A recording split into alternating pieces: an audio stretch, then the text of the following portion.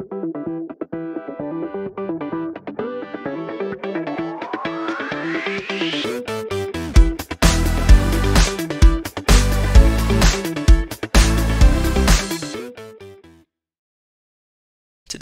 we're going to look at another pretty mind-boggling problem.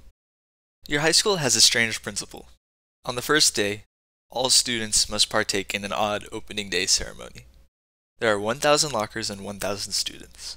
Every locker starts out closed until the principal tells the first student to go and open every single one. Then the second student must go and close every second locker, the third student must go to every third locker, and if it is open, he closes it, and if it is closed, he opens it. The fourth student does the same to every fourth locker, and so on until all 1,000 students have gone. After the process is completed, how many lockers will be open? So if you want to pause the video right now and give this a shot for yourself, now's your time to do it. With these types of problems, I like to bring the problem down to a smaller case. Let's simplify the problem down to just 10 lockers and 10 students. We can see the first student will go and open every single locker. Then the second student will go and close every second locker. We can notice that he skips over the first locker, just like each student thereafter will also. This means that the first locker will stay open forever, so we can add one open locker to the tally. Now it's time for the third student to go, so he goes to the third locker, closes it, and then the sixth locker, opens it, and then the ninth locker and closes it.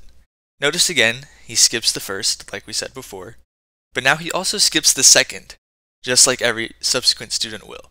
So the second locker, we know, will stay forever closed. Now the fourth student goes, opens the fourth locker, and also opens the eighth. As before, the first locker will remain open, and the second and third lockers are closed and will remain closed. And now the fourth locker is now open, and we know that it will remain open as the 5th through the 10th students will not touch it. So we can repeat this process for students 5 to 10, as you'll see on the screen. And we notice at the end that there are three lockers left open, 1, 4, and 9. Now what is special about these three numbers? They're perfect squares. And what is special about perfect squares? They have an odd number of factors, as opposed to non-perfect squares that have an even number of factors. This is true because each factor of a number has a pair. For example, a number like 10 has factors 1 and 10 and 2 and 5. But for a number like 9, the factors are 1 and 9, but 3 and 3, so it only has 3 factors instead of the 4 that 10 does. Why is this important? We can see that each numbered student only opens or closes lockers that he is a factor of. For example, student 2 will only ever touch lockers that are divisible by 2, Student 3 will only ever touch lockers that are divisible by 3. Student 4 only with lockers that are divisible by 4, and on and on. So a number being a perfect square means they will be affected an odd number of times, because it has an odd number of factors. It will change from being closed to open an odd number of times, which means they will end up in the opposite state as they started with. For example, if it was affected three times, it would start closed, then go to open, then go back to closed, and then go back to open, ending open because it started out closed. In contrast, every other number that's not a perfect square has an even number of factors.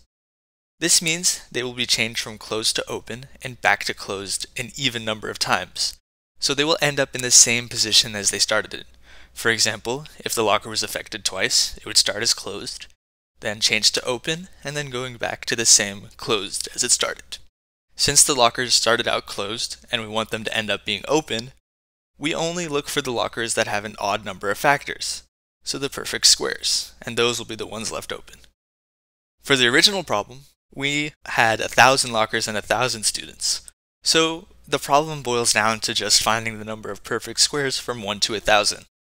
And fortunately we know that 31 squared is 961, so all squares below 31 will also be less than 1000, and therefore we can conclude that 31 lockers will be open at the end of this strange ceremony.